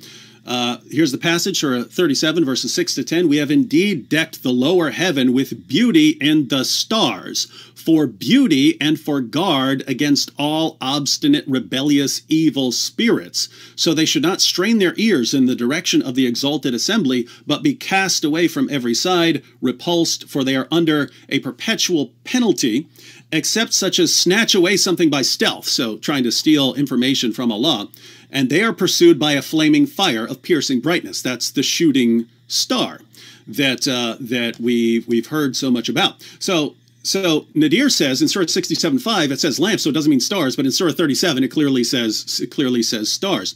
Uh, we also have Abu Qatada, one of Muhammad's companions, uh, explaining this in Surah 67 verse 5 of Sahih. I mean, uh, explaining Surah 67 verse 5 in Sahih al-Bukhari 3198. Abu Qatada mentioning Allah's saying, "And indeed we have adorned the nearest heaven with lamps." Surah 67.5 said, The creation of these stars is for three purposes, and they are one, as decoration of the nearest heaven, two, as missiles to hit the devils, and three, as signs to guide travelers. So if anybody tries to find a different interpretation, he is mistaken and just wastes his efforts and troubles himself with what is beyond his limited knowledge. So notice, Abu Qatada just condemned any Muslim who comes up with another interpretation which is what Nadir just did. So he stands condemned by Muhammad's own companions. Okay, let me quickly. I, I, forgot to address a couple of points you raised. Uh, you said, okay, well, in ablution and doing wudu, why would Muhammad say people? Okay, fine, you can go ahead and use that.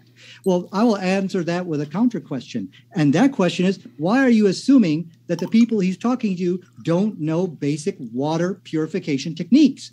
Why would Muhammad have to explain that to the people who are the masters of desert survival. That makes no sense at all. Okay. So again, but there's a there's a problem here. David Wood is having a problem finding scientific errors in the Quran. He's zigzagging all across. Ibn Qatada, he's going to the Hadith, and we could go there, no problem. But he's running away from the Quran. He can't find a scientific error in there. Telling us that there's lamps or even stars being hung, flung at the demons no way does that in any way contradict science because these are talking about supernatural events. So these are miracles. He's losing the challenge, the URL challenge. He's falling on his face just like apostate prophet did because the Quran is in complete harmony with modern science. Now, again, on the shooting stars, I have not shown the miracle yet, but I will get to that. Uh, so I got one minute left here, and I want to just address some of the points, and then we'll get to the scientific miracle. You see David running, zigzagging to Ibn Qatada and all the people who have commented and things like that. You just need to open up the Quran and show us a scientific contradiction there. You are failing tonight. Everybody can see that. That's why you're zigzagging be- between all these books. Okay. So again, uh, and you have to show us a reference. I've shown you many references from from modern science which agrees with the Holy Quran you're not able to do so. Now, I do want to go back to also the issue of the, about this child suffering from epilepsy because we have not done that yet. You know, I've shown you from scientific references where science, not me, science points a finger at the teachings of the Bible for the stigmatization of epileptics as being demon possessed. Muhammad comes back, also answers that. And he what he doesn't say, he doesn't accuse them of being demon possessed or perform any kind of bogus exorcism. So here we see, and the fact that Muhammad's name is not in the scientific literature, that's the that's another issue which you'll you will have to concede tonight that Muhammad gave a scientifically superior answer on the issue of people who suffer seizures. So then I'll, I'll show you the miracle about the shooting stars. I promise after this. okay, go ahead. All right, since we're we're we're talking about shooting stars here, Sahih Muslim 5538. As we were sitting during the night with Allah's messenger, a meteor shot gave a dazzling light, so they saw a shooting star. Allah's messenger said, What did you say in the pre Islamic days when there was such a shot of a meteor? They said, Allah and His messenger know best. But we, however, used to say that that very night a great man had been born and a great man had died. So their explanation before Muhammad was there to explain it to them was they took this as some sort of sign that a great man had been born, a great man had died. But Muhammad is there to give the true knowledge. Whereupon Allah's messenger said, These meteors are shot neither at the death of anyone nor on the birth of anyone. Instead, Allah, the exalted and glorious, issues a command when he decides to do such a thing. Then the angels supporting the throne sing his glory, then sing the dwellers of heaven who are near to them until the glory of God reaches them who are in the heaven of this world. Then those who are near the supporters of the throne ask these supporters of the throne, What has your Lord said? And they accordingly inform them what he says. Then the dwellers of heaven seek information from them until this information reaches the heaven of this world.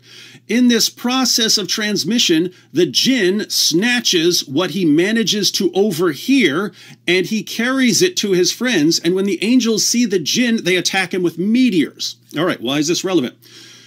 The meteors are what Allah has hurled at a demon. What the Quran says is that that's what stars are. Stars are missiles that Allah uses to shoot demons. So meteors are actual stars that Allah has thrown at a demon because he just he, he caught the demon, right? The demon's up, that demon's listening to me, star, bam, throws it, hits the demon. And Nadir is saying that this is somehow a scientific miracle. I'm looking forward to hearing this one, Nadir.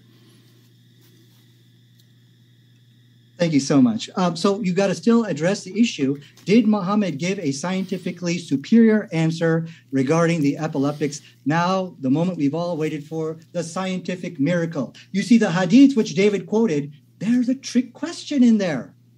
They're asking, they, they, they basically were coming to Muhammad and they said, so, you know, you look, those are the shooting stars up in the sky. That's a trick question. Those are not stars. As David pointed out, those are meteors. If Muhammad was a false prophet, he would have said, Oh, yeah, yeah, you know them shooting stars? Let me tell you about them. Yeah, okay. So here's how those shooting stars work. Look at the astonishing scientific miracle. What does Muhammad say? He says, What do you people say about those, about what you see in the sky? He asked him, When you, this is, I'm sorry, let me, let me quote exactly. Uh, the messenger of Allah said, when you saw the likes of this during the days of during Jahiliyyah, of ignorance, what do you say about that? Notice the scientific miracle. Number one, Muhammad refuses to address the, in, the scientifically incorrect uh, understanding of that time, which was that these were stars. Say, what do you say about that stuff? He refrains from addressing it, but let's continue. And then finally, the Prophet ﷺ said, You know what those are? and he quotes a, a, verse of the Quran in which he in which he quotes the Quran which says that these are some things which are burning shihab. This is the, the actual uh, what's it called? The actual verse says that these are something which are burning. When you go back to, is, isn't that exactly what meteor? I'm sorry, what the shooting star phenomenon is? They're meteors burning in the atmosphere. Muhammad, number one, refers to them as burning, and he refrains to repeat the scientifically incorrect statement that they are stars.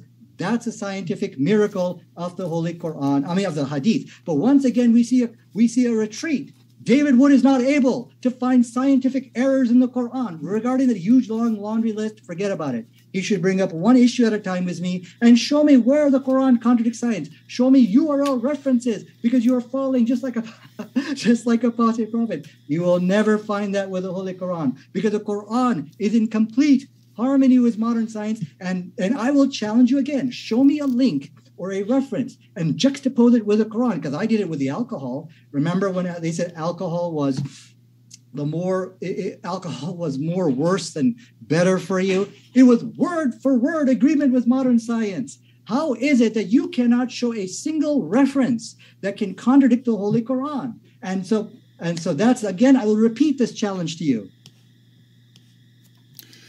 Um, so Nadir says that there's actually a, a scientific miracle because uh, Muhammad said something about burning, but you don't. You could actually go to the Quran and say that the Quran says that the jinn who tries to sneak into heaven and uh, listen on something, the Quran says that he is pursued by a flame of piercing brightness. So he's pursued by a flame. So that this is this is a miracle. Um, I don't know what the confusion here is. Nadir says, ah, but Muhammad, Muhammad says, uh, Muhammad doesn't answer and doesn't claim that these are uh, stars, I think Nadir said, but Muhammad specifically referred to Surah 67, verse 5, talking about the lamps. We know from the Quran that the parallel passage in Surah 37 is referring to stars. The lamps are the stars. This is confirmed by Abu Qatada that the, that stars are there to be hurled at demons. They're missiles to be hurled at demons. So the fundamental error remains. A shooting star that you see shooting across the sky is not an actual star that someone has thrown at a demon. So there's the one problem of one, what in the world does a shooting star shooting over your head have to do with uh, with any sort of demon? Is, is, a, is a meteor actually hitting a demon? So Nadir must be saying yes. A meteor is something that has been hurled at a demon and is hitting the demon. That demon tried to sneak into heaven, which must just be right above our atmosphere because that's where that's where the, the meteor is being thrown. But the fundamental error here is that stars, the Quran says it's talking about stars that adorn the night sky, when these stars are eventually used by Allah or his angels to pelt demons, the star is the shooting star. Shooting stars are not stars. That's the error. a shooting star, you, it may look, you know, you see a bright thing in the sky, you think, oh, that's a that's a star, and that's why they're called shooting stars, but they're not actually stars. And so the Quran is wrong. Well, the only problem here is we're not talking about the Quran. So, you know, the thing is, David, nowhere in the Quran does it say that the phenomenon you see in the sky the, of the thing shooting, you know, the sky is is uh, is is this is some kind of shooting star. Muhammad made it clear for you. Okay, so you know, if you are going to make a claim that the Quran is claiming that the phenomenon you see in the sky, this is a najm, this is a shooting star, then you should share your desktop with all due respect, show us the verse, and juxtapose it with a with a statement from science, and you will never do that. You're running around all over the place. Abu Qatada said this, and this guy said that, and this guy said that, but you are not able to show us from the Quran this. Okay, you are trying to create a type of confusion, a type of because you know that there that this there are no contradictions in the Quran. So you know, like I said, I, I'm not a Superman here where I can just follow him through the zigzag pattern. But let me assure you, nowhere in the Holy Quran, and I will challenge you here tonight, does it say that the phenomenon you see in the sky of that shooting streak, this is a shooting star, this is a najm. Nowhere is that in the Quran. If you are quoting Abu Qatada, once again, this only backfires on you because that raises a, a, a devastating question for David Wood. Why can we not find these scientific errors in the Quran? Why do you have to go to commentaries to find the scientific errors? But then he shifts the goalpost. But these are the most holy men. These are people who learn from Muhammad himself. This is a separate issue. Okay, so so I think that I want to I want to take you back to the issue of the epileptics. I have presented to you references from science pinpointing and putting the blame on that passage in the Bible for the stigmatization of, of epileptics. Uh, the teachings of the, of the Gospels is solely responsible for that. I also showed you from epilepsy.com, where even today people are still being stigmatized. And so when you look at the response which Muhammad gave, once again, it is a scientifically superior answer by not accusing that person of being demon possessed. Thus, Muhammad lifts the stigma this is what I'm talking about. Muhammad rescues people and lifts the curse upon them.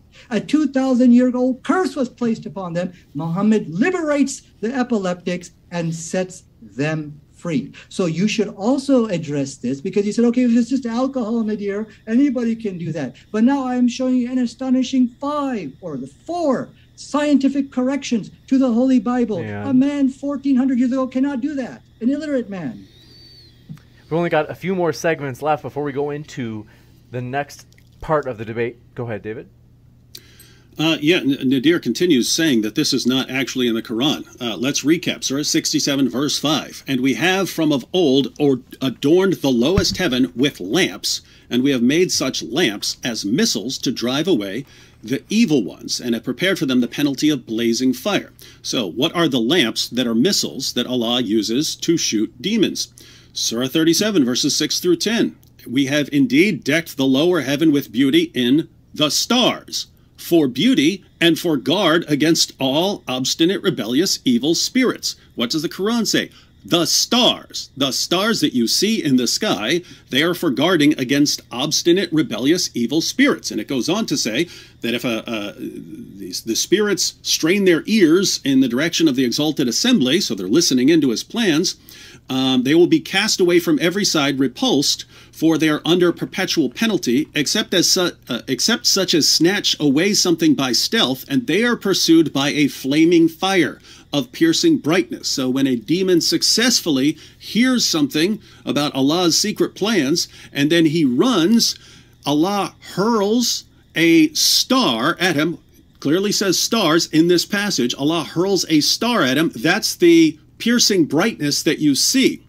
We know from Sahih Muslim that Muhammad brings up the what the Quran says about stars being missiles in the context of him and his followers seeing a shooting star. They see a shooting star and they, Muhammad explains, "Ha, what you used to believe about shooting stars is wrong. I'm going to tell you the truth. What's actually happened is revealed in the Quran. When you see a shooting star, it's because Allah or his angels hurled a star at a demon. Nadir somehow looks at all of this and says, um, nope, there's no contradiction here with science. There's no error here. There's no problem here. And uh, if, if, if this isn't a problem, then I don't know what could possibly be a problem for, for your Quran here, Nadir. We've got one short two minute segment left from each of you, and then we're going into the five minute closings. Nadir, go ahead. With all with all due respect to you, David, honestly, you zigzagging and say there's a verse here and a verse there and a verse there share your desktop. Show us the verse, just like I did. Okay, I, let us show for the record this nonsense which David Wood is trying to tell us that the phenomenon we see in the sky of the, you know, like it looks like a shooting star. This is not mentioned that this is, or this is um, nowhere in the Quran does that phenomenon affirm that they are stars. Nowhere. But we go back to the scientific miracle of Prophet Muhammad. Remember, they asked him, there was a trick question. So, you know, them shooting stars, uh, and look how Muhammad responds back. He says, Well, what do you say about those things? He refuses to respond, to repeat the scientifically incorrect statement. Again, I'm not a Superman. Him, him quoting verse, verse, verse. Ibn Qatada, oh, I can't keep up with that. so please share your desktop, show us the verse. Let's look at what you're talking about, just like how I'm doing. Okay. So I'm not going to even chase after that. I did not address all the claims tonight, like the, the one which is left is about the so-called flat earth or whatever that nonsense stuff is. Don't worry, um, I will address that later. So tonight I can only address the time which I can, you know, alleged scientific contradictions which I have the ability to do so. And I think I have pointed out tonight that the Quran is in complete harmony with modern science. And I have all, uh, and, and, I guess I can now make the claim that Wood, just like Apostate Prophet, is not able to take a verse from science and, a, and something from the Quran and show a contradiction between the two. He's just basically creating some kind of smokescreen. Oh yeah, you know that verse means this and that verse means that. Uh-uh. That, that, that, that does not substitute uh, for this challenge over here. Okay, so um, I think what's important here tonight is the Quran does alleviate the misery and suffering caused by the teachings of the New Testament. And you know, once again, he's he's running away from the issue of the epileptics. How do you explain? Now, you did concede that okay, Muhammad gave a better answer on washing hands and other issues. What about the epileptics? Go ahead, David. Last two minutes. Um. So, uh, on the issue of stars, Nadir keeps say, saying, uh, show him my desktop. Uh, I'm using my laptop for the Muslim sources, but I've given the references. I've read them to you repeatedly. Um, I don't know what else to do. Allah says it's stars. He says that the lamps are stars. He says this in the Quran. Um, he says that when a demon tries to sneak into paradise, Allah hurls the stars, and that's what you see this this flame of piercing brightness. And if that's not enough, uh, Muhammad said this in the context of him and his followers seeing a shooting star, and then he appealed to the Quran to say that that is what is going on. And if that's not enough, I quoted Abu Qatada just to show that Muhammad's own companions confirmed my interpretation, not Nadir's. Nadir looks at all of this and says, "Nope, no problem here.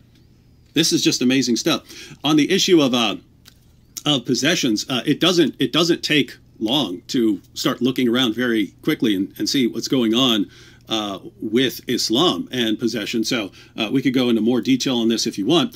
Um, but source right here, just pulled it up. In one Muslim country, Afghanistan, a common exorcism practice as of 2013 that has been criticized as inhumane was to secure the mentally ill to religious shrines for 40 days to ritually exer- exorcise the jinn possessing them.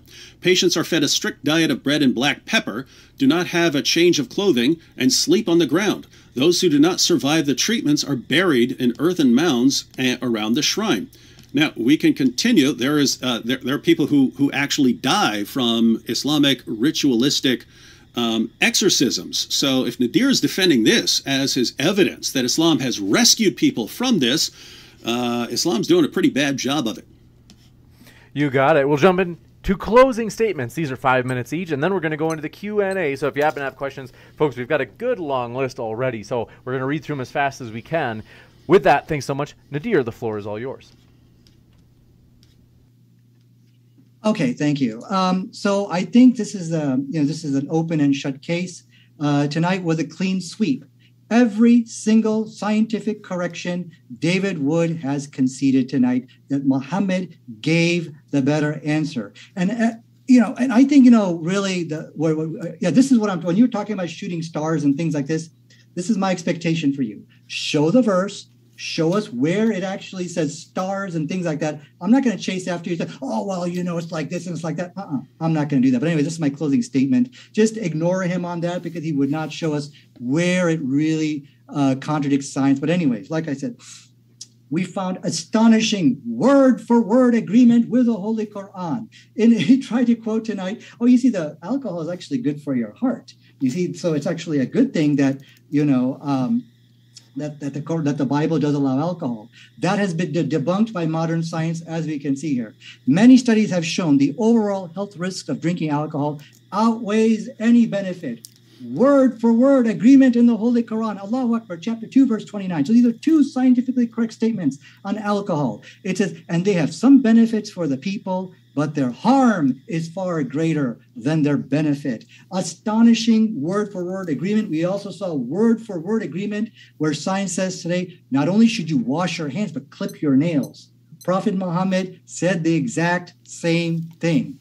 And again, you know, Allah Akbar, he has he has conceded tonight. Muhammad gave the scientifically superior answer than Lord and Savior himself. So he's all about so what? Who cares? You know, that doesn't make you a prophet. Ah, yes, it does. Because how can a man 1400 years ago, an illiterate man in the desert, know the scientific errors of the Bible and correct them one by one? The virginity, biblical virginity test, unfortunately, I didn't have time to go over. This was basically the Bible uh, asked for uh, authorizes a virginity test to be performed on women, but today science tells us this is uh, scientifically incorrect we, these things are inaccurate and it stigmatizes girls who have been sexually assault, molested, that they are going to go through this virginity test.